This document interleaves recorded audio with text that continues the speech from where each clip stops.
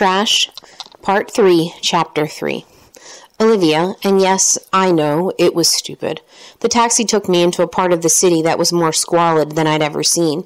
You may say that's strange coming from someone who works in Behala, but it's not. Behala is a huge, monstrous, filthy, steaming rubbish dump, and you cannot believe human beings are allowed to work there, let alone live there. Rubbish and shacks. It's extreme, it's horrible, and I will never forget the stink. Behala also makes you want to weep because it looks so like an awful punishment that will never end. And if you have any imagination, you can see the child and what he is doomed to do for the rest of his life. When you see the old man, too weak to work, propped in a chair outside his shack, you think, that is Raphael in 40 years. What could possibly change? These children are doomed to breathe the stink all day, all night, sifting the effluent of the city rats and children, children and rats, and you sometimes think they have pretty much the same life. Colva, however, was something else again. We drove on a cracked roads. The pavements were broken, and it looked as if they'd or there'd recently been an earthquake. We drove between low-rise flats strewn with washing and electricity cables. There were people everywhere, mainly sitting as if they had nothing ever to do. The taxi airs the taxi's aircon wasn't working and it was getting hotter and hotter. This was the dry season, but there was talk of a freak typhoon coming in from the sea. There was real heat in the breeze. We turned, and on our right was a high concrete wall. Gardo said, Prison, and pointed, but you did not need to be told. There were coils of barbed wire at the top, some of it straggling down where it had come loose from its moorings. There were guard towers every fifty paces, open to the sun and rain. We turned right and followed the next wall. On the left were huts of bamboo and straw and more people, many of them tiny children. I always noticed the tiny children sitting in the dirt, playing with stones and sticks. I learned later that many of the families in these shacks had relatives as inmates on the other side of the wall. They had to live there and get food in, or the prisoner would starve. We came round to the entrance, and I paid off the taxi. Then I walked up to the guardhouse. It was a concrete box with a large window. Several guards sat inside. Beside it was a red and white barrier to stop vehicles, and a man with a machine gun. I showed my passport and delivered the speech I had prepared. They made a phone call. I noticed that Gardo was holding my hand, and I too was scared. We were kept waiting for no more than two minutes, and another officer came to the window and asked me to repeat what it was I wanted. I told the story twice because another person arrived and then my passport was taken away. I was given a register to sign and a visitor badge. Gardo got one too. Then we were led round the barrier and across a yard. To walk into a prison is a very frightening thing because you cannot help but think, what if something goes wrong and they won't let me out? I was also thinking about that line, the line there has to be, and you have to cross, that separates freedom from complete incarceration. What door would it be that would swing open and shut again behind us? We were taken past an office into what looked like a large waiting room. There were benches all the way round it, and we were invited to sit. Seconds later, a guard came to escort us out of the waiting room down a corridor. At the end of the corridor was an iron gate made of bars. It was unlocked for us, and we all walked through, and it closed with that dreadful clanging, ringing slam of metal on metal. We were shown to a smaller waiting room and asked to sit. We sat there for nearly an hour. You don't get anywhere in this country by showing impatience. I learned that very quickly here. It is so much better to wait and smile and nod. Gardo said almost nothing. I could see his lips moving as if he was saying a prayer. Out of the blue, he said to me, What is in memoriam? I said, I think it's Latin. When somebody dies, you write that, and it means in memory of. I asked him why he wanted to know. He smiled at me and said, Video game.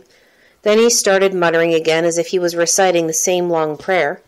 Eventually, the door opened, and a man in a short sleeved shirt came in. He had a very warm smile, and he shook my hand and introduced himself as Mr. Oliva. I told him my name was Olivia, and it seemed to break the ice instantly. He assured me that Mr. Oliva would help Miss Olivia if he possibly could. He had a photocopy of my passport in his hand, and he sat opposite me.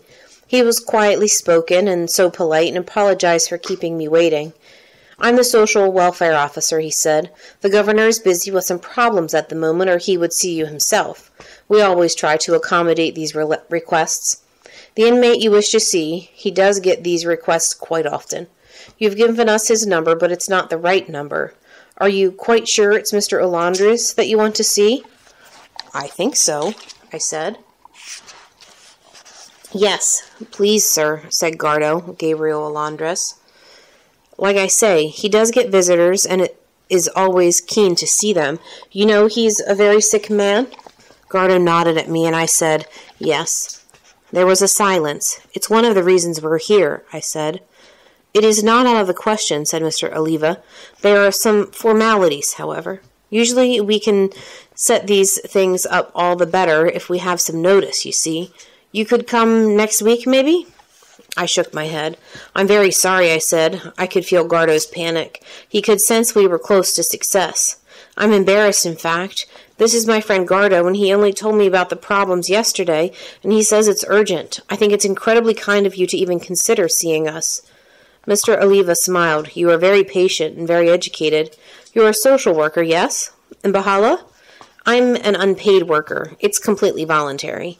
Mr. Oliva extended his hands and shook mine firmly. Thank you, he said.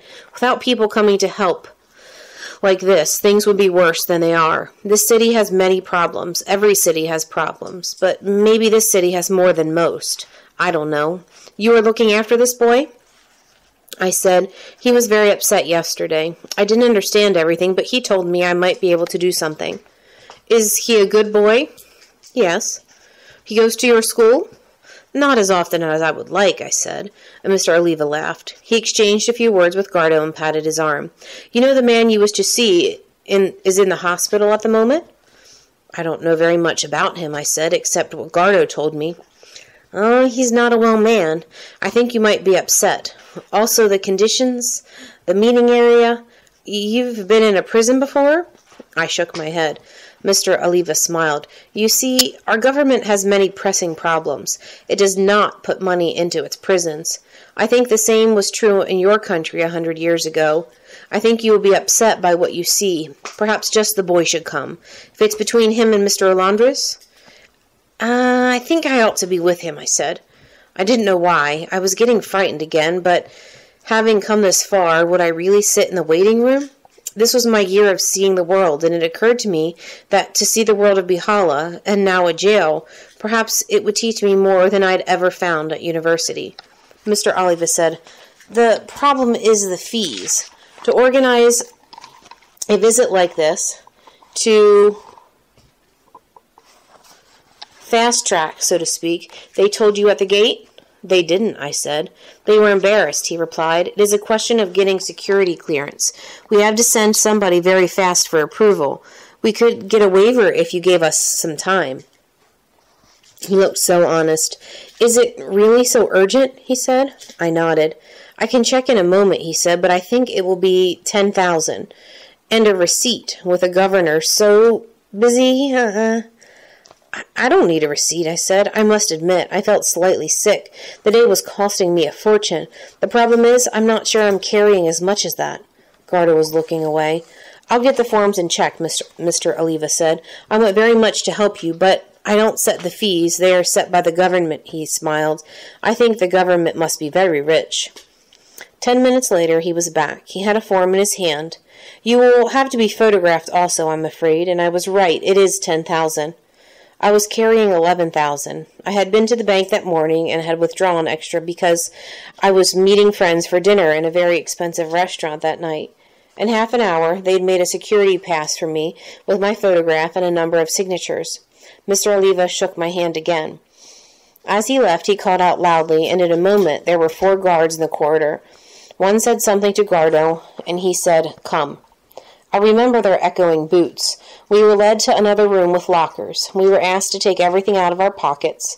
We had to take off our shoes and shake them. They put everything inside and slammed the doors. We set off down another passageway, and I could hear people in the distance shouting. I knew the dividing line was close now, and my heart was beating fast. Sure enough, the corridor took us into a long hall, bisected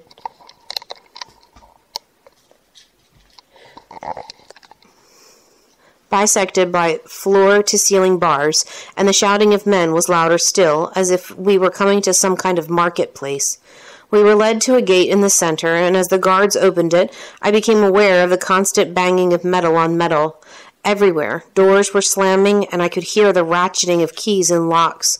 Suddenly, we were in a strange no man's land, like a decompression chamber, a space in which the door behind us locked before the door in front was opened.